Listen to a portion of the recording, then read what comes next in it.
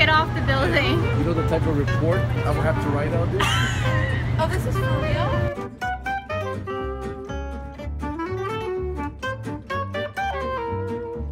Alright, what do you have there? Uh, suction cups. Because I'm gonna recreate the Trump Tower Grand Climber.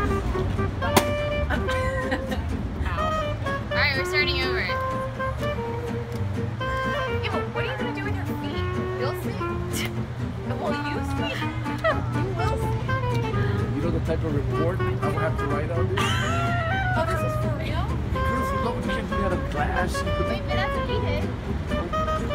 Let me just try and then I'll come down. Oh my god.